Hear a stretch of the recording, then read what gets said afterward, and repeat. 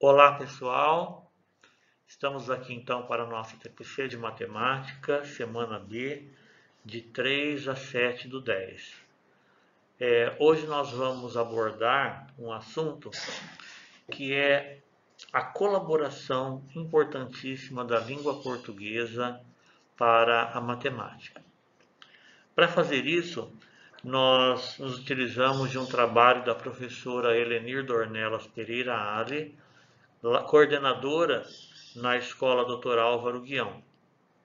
Em 2005, ela escreveu um artigo na revista das Faculdades Integradas Urubupungá, Pereira Barreto, a FIO, em que ela aborda essa, essa temática, né? a importância da língua portuguesa para a matemática. Então, baseados no trabalho da professora Lenir, nós, com autorização dela, preparamos esse material mostrando essa relação de importância da língua portuguesa para nós matemáticos, para a matemática.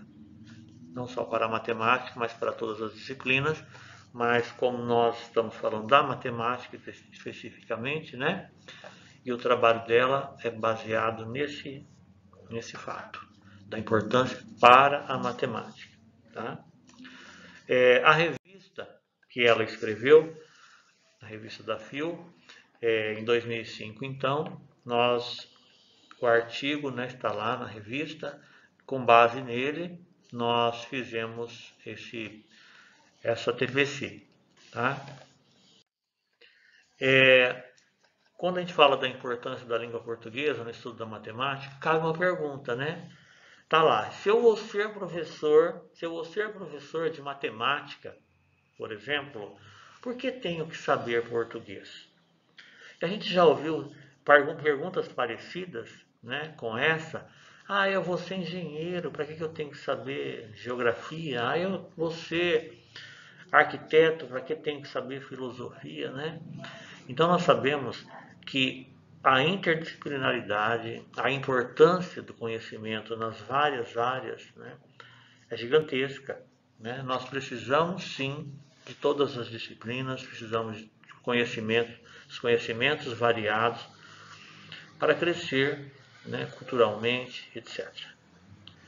E muitos problemas, muitos problemas de matemática, eles deixam de ser resolvidos ou são resolvidos de forma incorreta pelo fato de que quem lê não sabe interpretar o que está escrito ali, não sabe interpretar o que está sendo pedido, não é? E muitas vezes não é apenas uma, uma dificuldade, é, uma falha no aluno, né? Ah, o aluno não consegue entender. Às vezes ele não consegue, às vezes ele não consegue entender porque o problema não foi bem formulado, né? Então, do ponto de vista da língua portuguesa, é, nós temos que ter uma atenção redobrada, porque nós não estamos falando ali na prova, nós estamos escrevendo, né?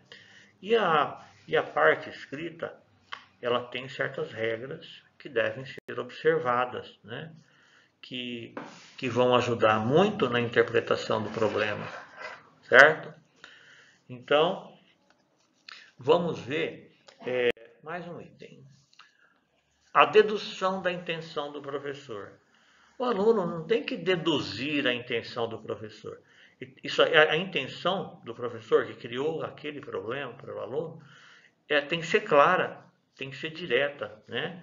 Ela tem que ter vários requisitos, por exemplo, coesão e coerência. Né? Então, um, um enunciado sem coerência, sem coesão, ele, ele é falho, e as pessoas têm que partir para a adivinhação, para deduzir a intenção de quem escreveu, né? e isso é, é cansativo e desnecessário, não é? A clareza, então, a clareza, a economia de palavras até, porque quando você escreve com conhecimento do que você está fazendo, o, o enunciado não precisa ser tão longo, né? Então, há uma economia das palavras também. Você vai escrever com clareza e, e tem que ser uma coisa direta, não é? E há diferença né, entre a língua escrita e a falada. Na língua falada, nós utilizamos vários recursos. A gente faz pausa, né, na oralidade, a gente faz um intervalo na hora de dizer as palavras, a gente gesticula, né, tudo para facilitar a nossa comunicação na linguagem falada. E na linguagem escrita, nós precisamos de ser precisos na linguagem. Né? É, nós precisamos utilizar dos recursos linguísticos de forma coerente, né? de forma coerente. E a economia de palavras, como nós comentamos, não é? A gente precisa ter aquela, aquela ideia de que de usar o necessário, né? usar o estritamente necessário para nos comunicar, para escrever um problema matemático, inclusive. E os recursos linguísticos, quando ele diz aqui, são vários, são muitos os recursos linguísticos, mas são muitos, mas não é impossível da gente conhecer uma boa parte deles e sabê-los usar bem, mesmo não sendo da área de língua portuguesa. Não sendo da área de língua portuguesa. Que recurso, neste, nessa TPC, nós vamos trabalhar é, alguns dos recursos linguísticos e como que eles facilitam, quando bem usados, como eles facilitam a interpretação do enunciado do problema. Né? Nós vamos ver alguns deles. Nós vamos analisar a pontuação, as conjunções, pronomes, o A com H e o A sem H, né? É, e nós vamos ver que dependendo da área, né, uma mesma conjunção ela pode ter sentidos diferentes. Vamos dar uma olhadinha em exemplo da, de pontuação, uma, é, uma pontuação bem colocada com, usando a vírgula. Vamos dar uma olhadinha.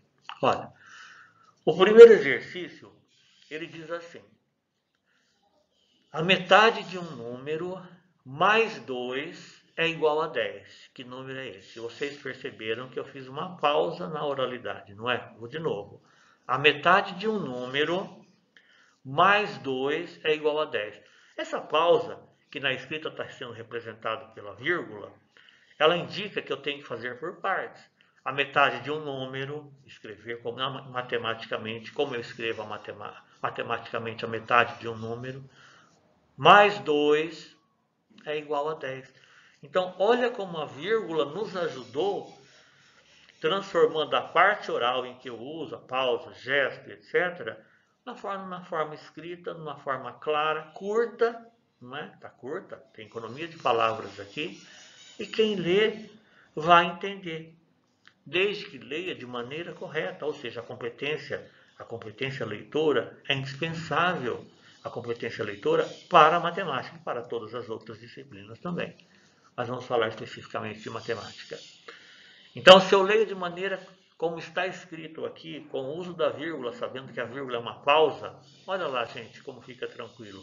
A metade de um número mais 2 é igual a 10. Eu escrevo a metade de um número, por exemplo, x sobre 2, mais 2 é igual a 10. O enunciado de baixo é praticamente o mesmo.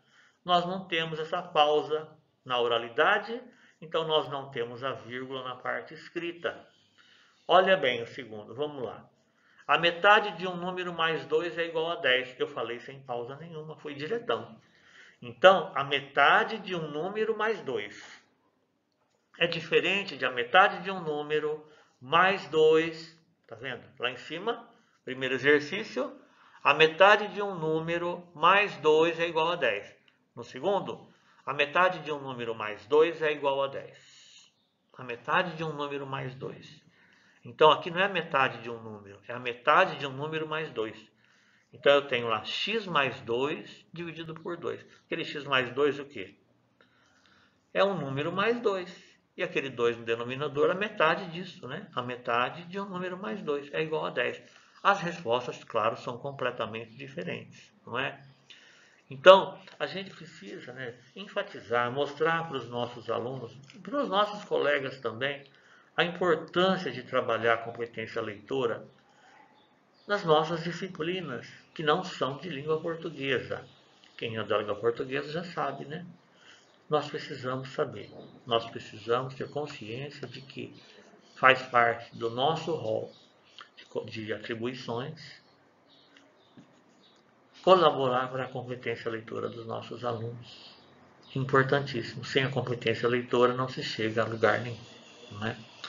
Então, fica esse exemplo com, de pontuação com o uso da vírgula e sem a vírgula. Né? Tem a vírgula um sentido, com a vírgula outro sentido. Vamos agora falar de um outro recurso linguístico, o uso de pronomes. Né? O uso de pronomes.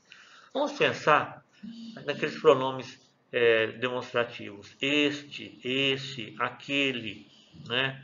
Tem várias formas de se utilizar esse pronome. Em matemática, aqui vamos falar o seguinte. Matemática, física, né? Então, vamos falar o seguinte. Quando eu uso, por exemplo, este, eu estou me referindo à distância de um objeto, a essa palavra, por exemplo, este é o próximo. Esse está um pouco mais distante e aquele mais distante ainda. Então vamos pegar esse enunciado aqui para ver isso. Ó. O problema nem está completo, porque eu peguei só uma parte do enunciado, que é o que interessa para nós. Nós não vamos resolver, mesmo porque não estão todos os dados necessários para resolver aqui. Né? Mas está assim, ó. No instante, vamos para a leitura, terceira questão, né? No instante em que um móvel B ultrapassa A, este inicia seu movimento na mesma direção e sentido. O aluno vai ter dúvida se este é o A ou o B? Dependendo da competência leitora dele, não. Né? Então, este está próximo de qual móvel ali? A palavra este. Do A. Então, é o A que inicia seu movimento na mesma direção e sentido. Tá? Se eu falasse, por exemplo, assim, ó, dá, uma, dá uma olhadinha na diferença. No instante em que o móvel B ultrapassa A, aquele, aí mudaria o enunciado tal, mas aquele, aquele seria qual? O B, está lá mais distante, não é? Este é o A, está próximo. Aquele, o B, está mais distante. Tudo bem? Então, esse é um recurso muito importante utilizado né, na matemática, utilizando a parte da língua portuguesa, né, e fica bem mais claro, não precisa ficar explicando muito, né, não precisa ficar falando várias vezes. E o A inicia seu movimento, e o B, não. Você falou o B, falou o A, esse está se referindo a A. Se você falasse aquele, estava se referindo a B. Está mais distante, é aquele. Está pertinho, é o este.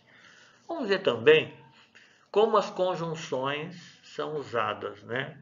Conjunções são usadas na matemática. Eu peguei aqui é, uma questão que diz assim: a carga da bateria de uma câmera digital, um celular, qualquer coisa que fosse, né? A carga da bateria ela é suficiente para 12 horas desligada ou 12 horas ligada. Facinho de entender. Você tem lá, por exemplo, um, um celular, se fosse um celular, e você deixa ele 12 horas desligado. Esse aqui a bateria descarrega.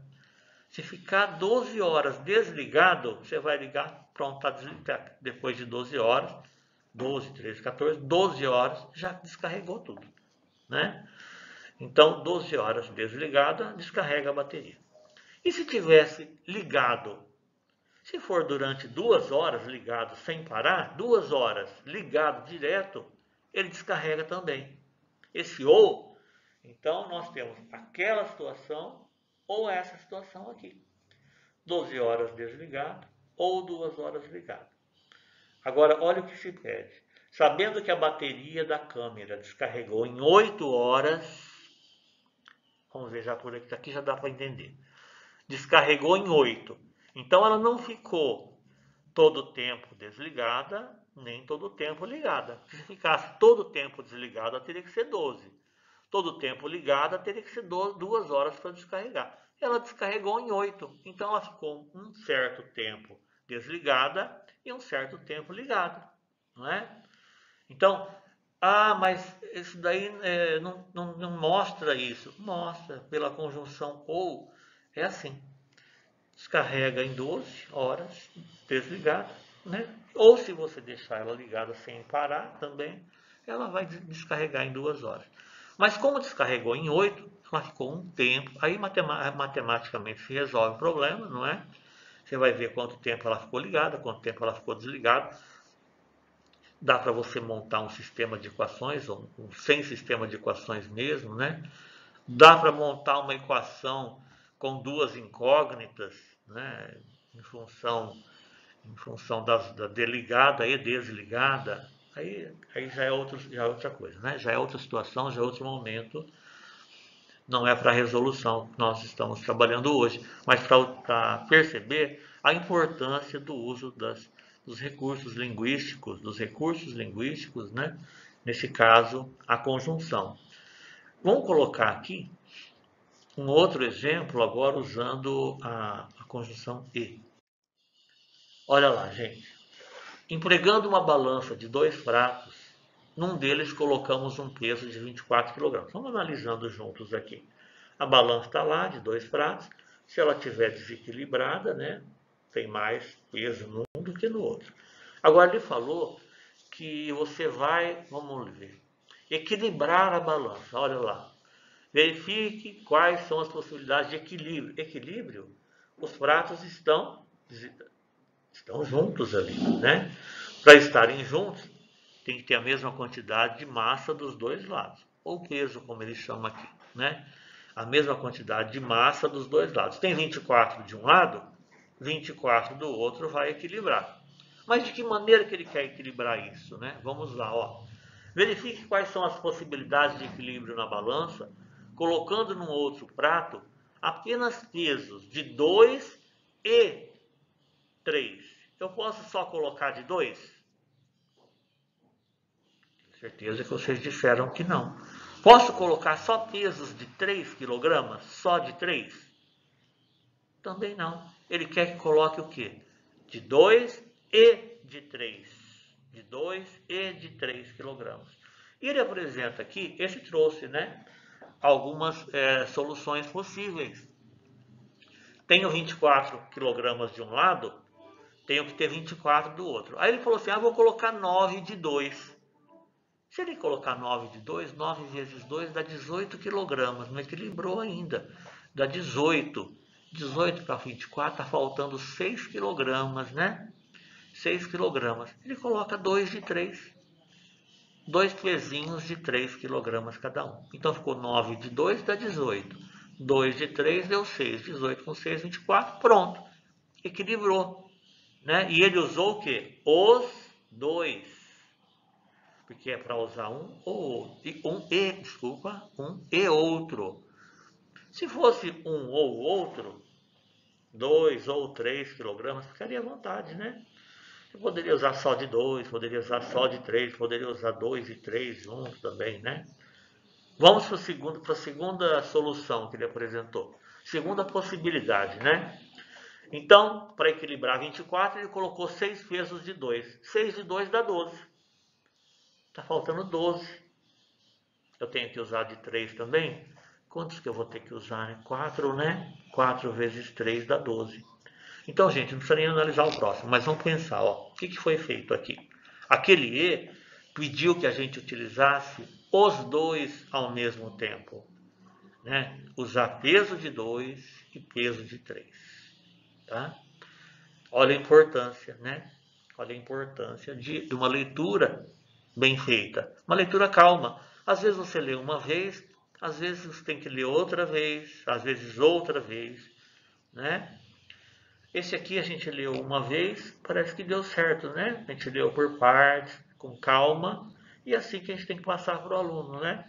Ler com calma, se ele precisar ler de novo, lê de novo, né? Até a pergunta é importante que ele leia novamente.